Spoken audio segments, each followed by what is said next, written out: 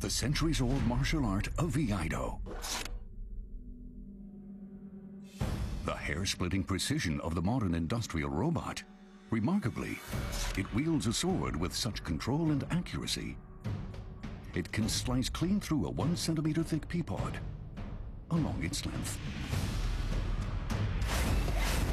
The robot outperforms the most skilled of swordsmen. Yaskawa Electric Corporation is a leading manufacturer of industrial robots that are not only accomplished in the art of swordsmanship, but also are the driving force at the heart of industries around the world. Its latest models are nimble, fast, and extremely precise, capable of accomplishing complex tasks with amazing efficiency and reliability. It's not only about automation, it's also about having a partner you can trust. That trust depends on the technology at the core of the company's specialty, servo motors. These highly efficient electric motors are what drive the robot's arms with lightning speed and pinpoint accuracy. In this episode of JTech, we examine the technology developed by one Japanese company whose ideas are revolutionizing the world of industrial robots.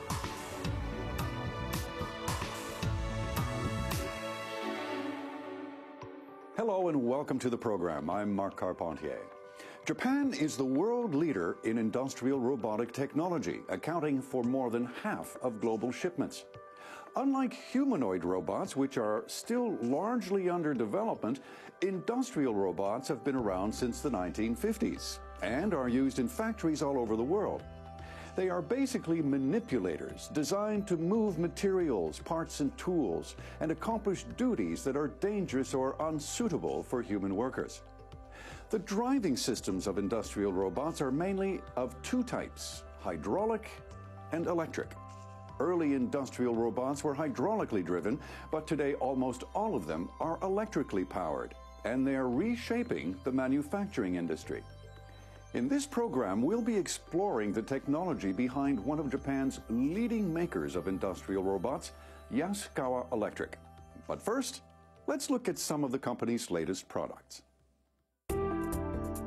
The city of Kitakyushu in southwestern Japan is a major industrial center. It's home to dozens of major corporations, including Yaskawa Electric.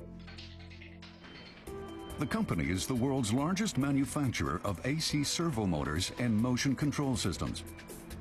It's also the world's second largest manufacturer of industrial robots, with 300,000 units installed in factories around the world.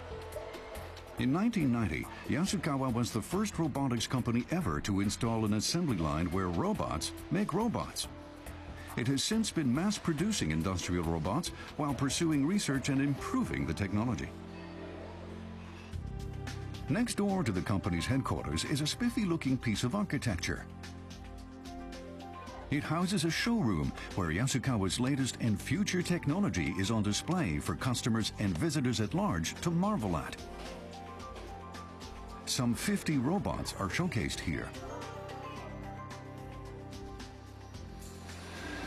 Kobayashi-san, Hi, Mark. nice to meet you. sir. Nice to meet you. Welcome to Yasuka Innovation Thank Center. you very much. There to greet us is the showroom's director, Kazuo Okabayashi, a 35 year company veteran who is involved in the development of robot control systems. Okay, let's. I would like to introduce this robot first. This robot we call seven-axis Motoman robot. The showroom centerpiece is the company's latest industrial robot, and it's the first of its kind in the world. Its movements are swift and smooth as it deftly moves a random set of blue cubes through a complex array of obstacles and sets the cubes down precisely with a delicate touch. It has seven axes of rotation, mimicking the human arm. Seven means that the human arm from shoulder to wrist. We have a seventh freedom. We have. We want to make same uh, using this robot. Human arm, you can move this elbow to the down or up. Let's compare the movements of this latest robotic arm with a previous model. On the left is the older model. It has six axes of movement. It can pass through the frame, but cannot reach the pink board on the other side.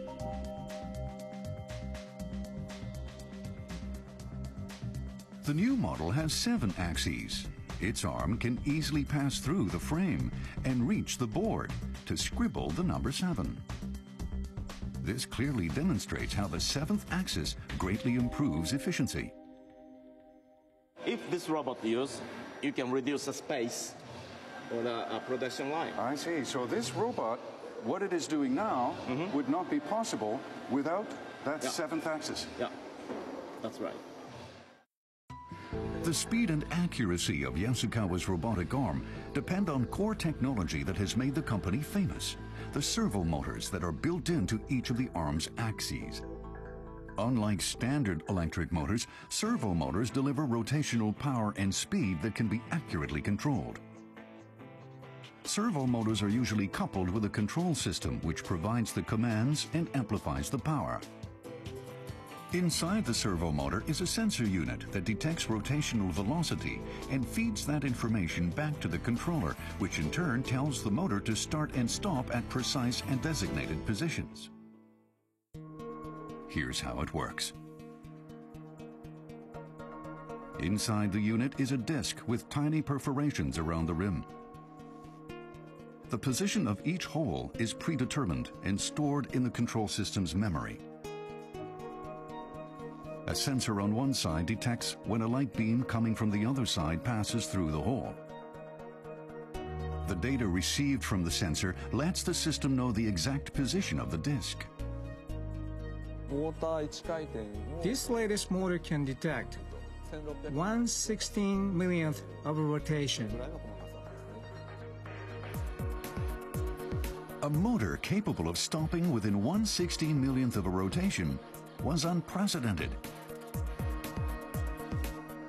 This ability to control the servo motor with such extreme precision is what makes the robot go fast, smooth, and accurately. Okay, we try to make each color one. Okay. Okay. Okabayashi has taken me to a booth where six small robotic arms work in sync to make mini cars. Now that's robot. Input the color and number of mini cars you want to make, and away it goes.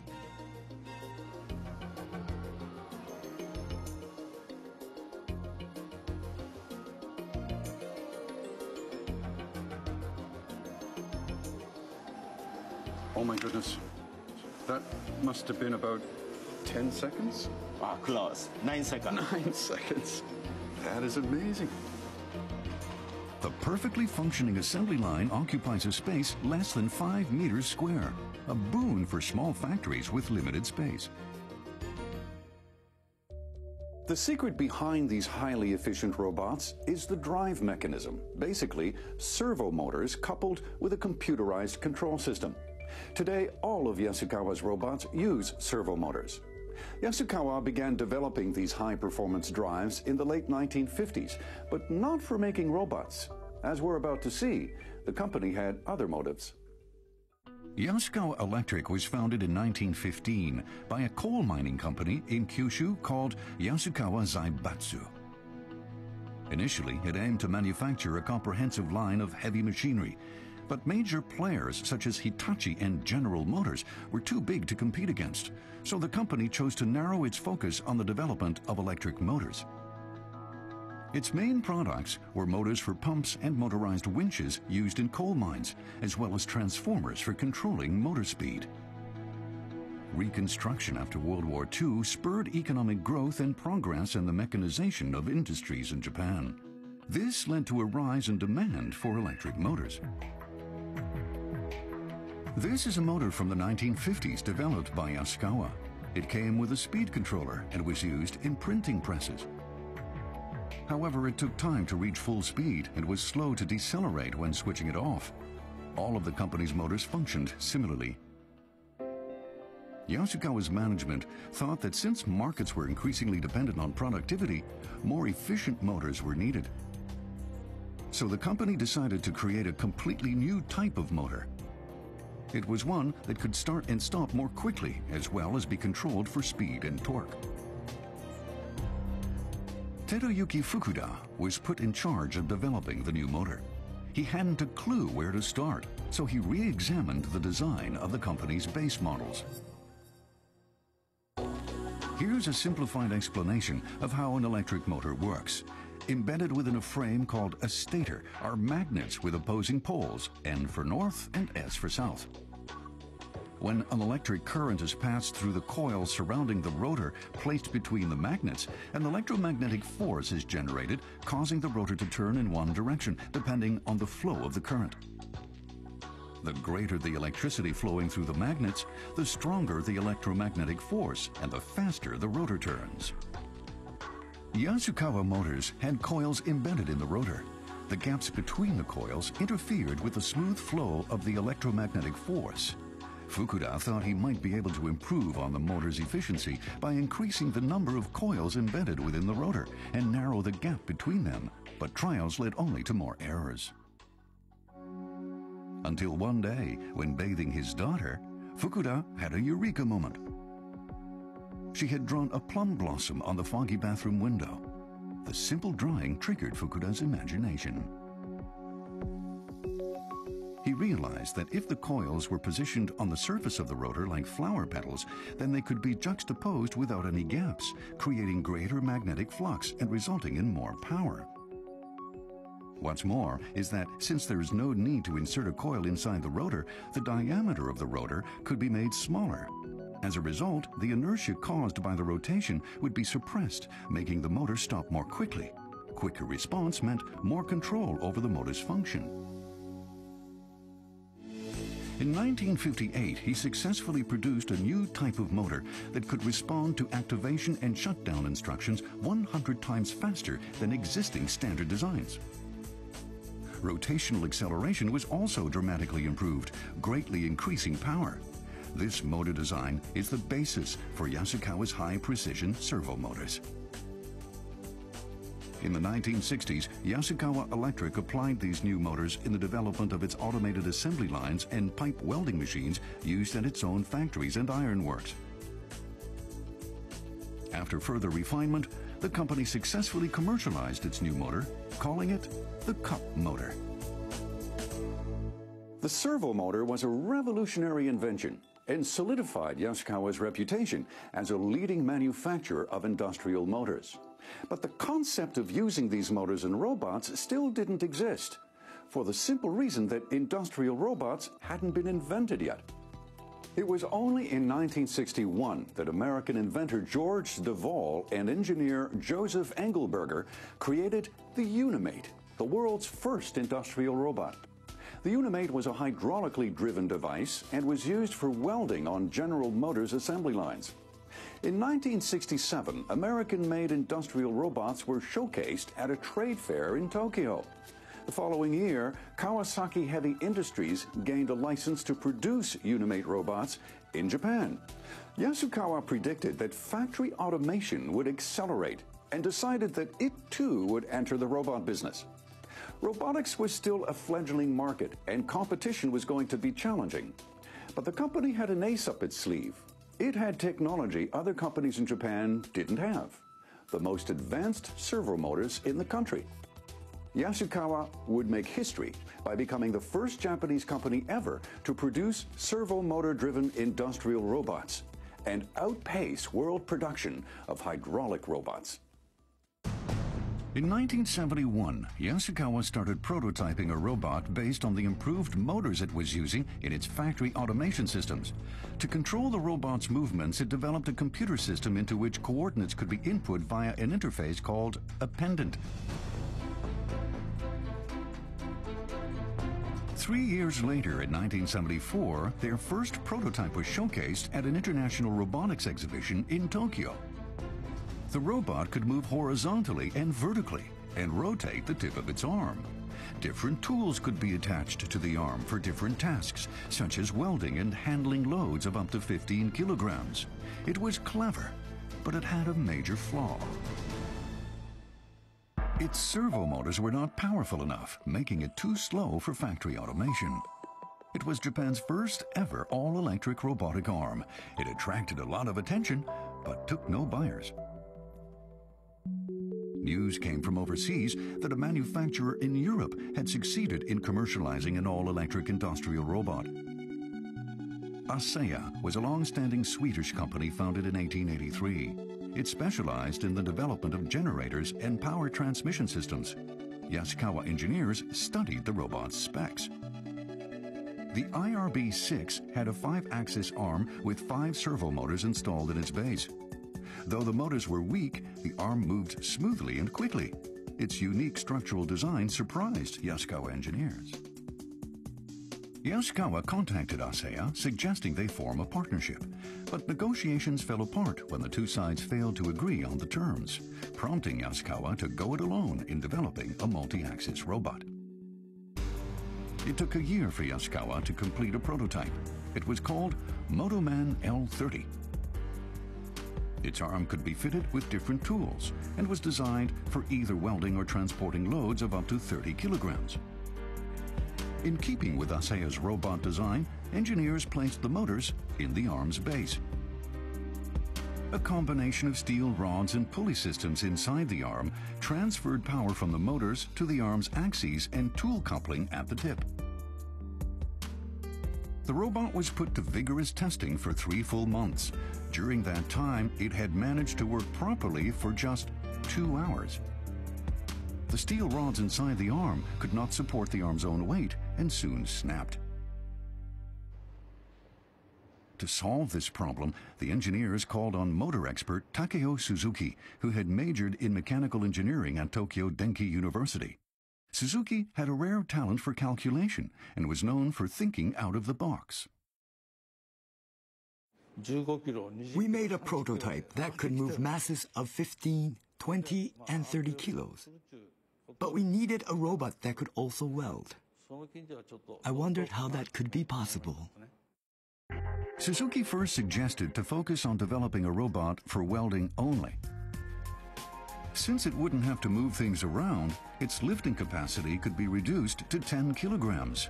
Smaller motors could be used, and the height of the robot could also be brought down from 1.8 to just over 1.4 meters. But testing revealed a problem. The motive power did not transmit properly to the tip of the arm. Movement of the arm could not be controlled accurately. Precise movements were a must for welding. Suzuki replaced the steel rods with belts. However, they easily got misaligned and elongated over time, losing accuracy once more. One evening, Suzuki caught sight of a security guard pushing a bicycle with a slipped chain. He realized that unless it comes off completely, a chain always maintains its position on the other cog. So he tried chains instead of belts.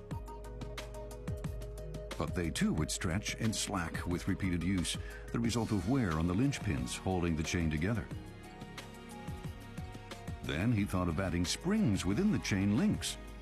Any slack in the chain would be taken up by the springs.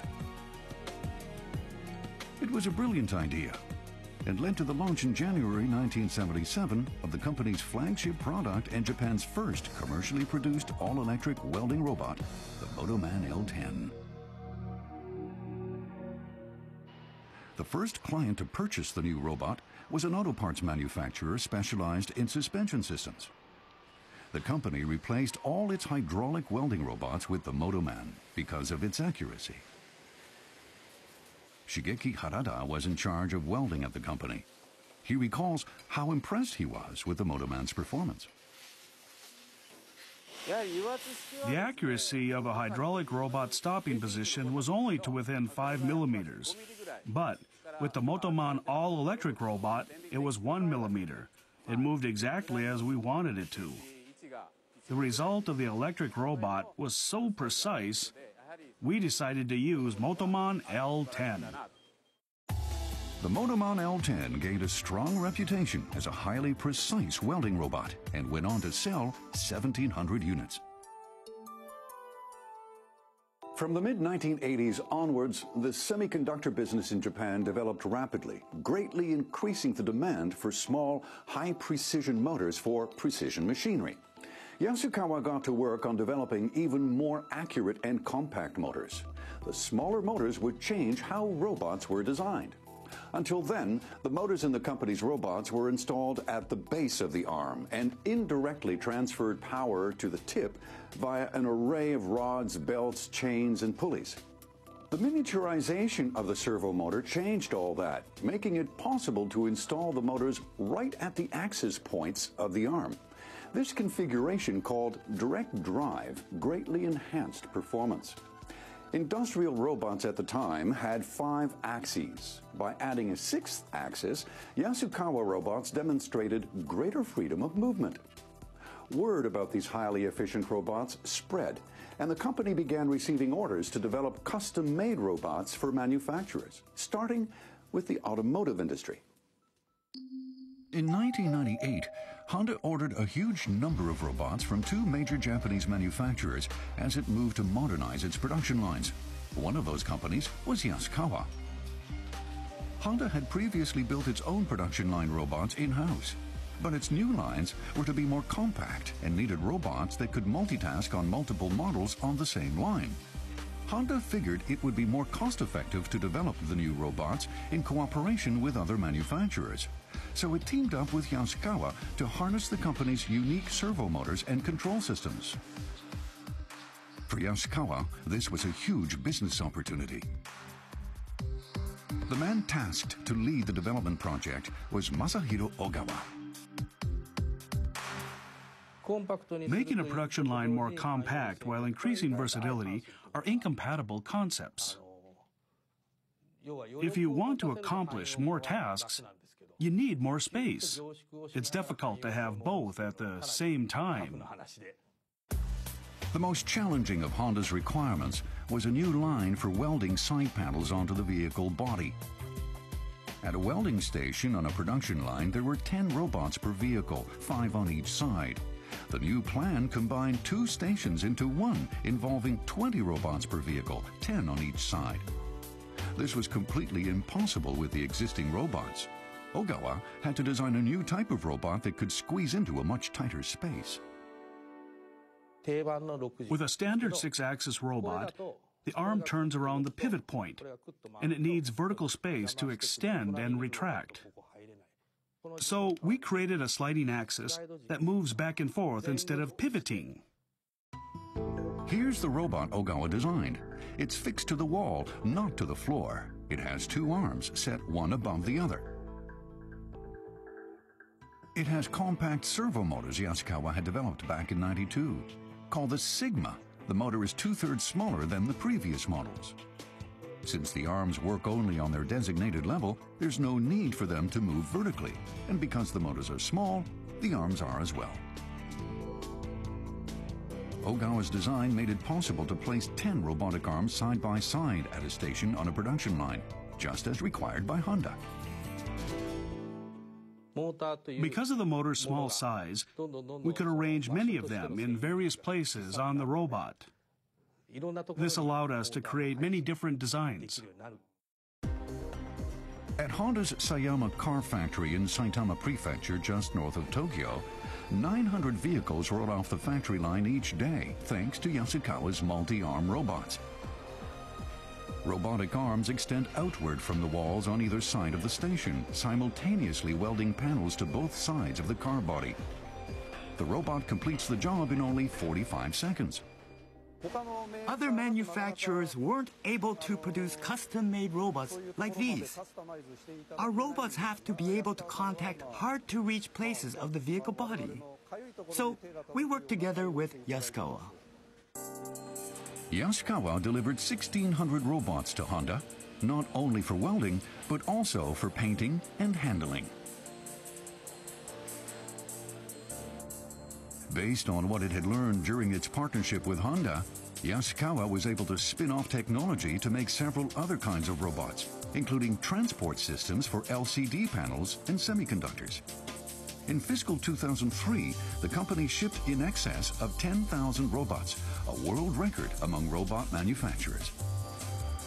Today, Yaskawa Electric is also a player in the pharmaceutical industry, where robots are more efficient than humans when making new drugs. This robot's control system is easy to use. It can perform more than 50 different tasks, including adding and mixing reagents to produce chemical reactions. When appropriate times and quantities are input into the commands, the robot conducts the experiment as instructed in the designated order and with extreme precision. It's not necessary to reprogram a command sequence each time. The control system determines how a series of commands should link.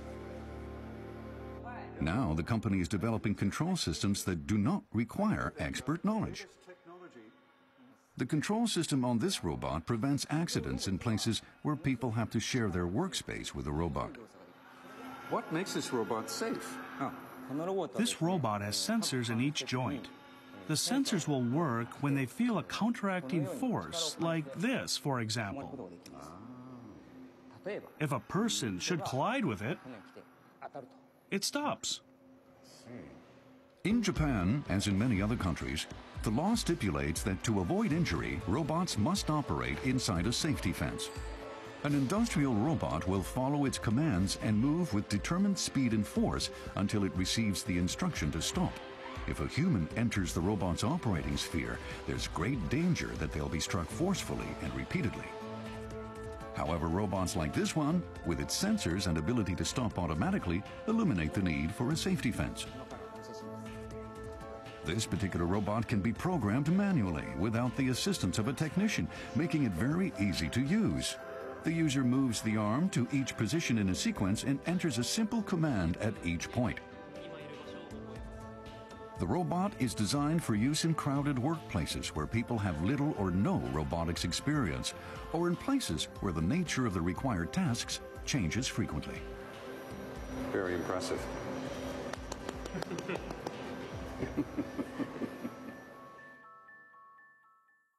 As industrial robots continue to evolve, they will play an ever greater role in making our factories more efficient, our working environments safer, and the products we purchase of higher quality.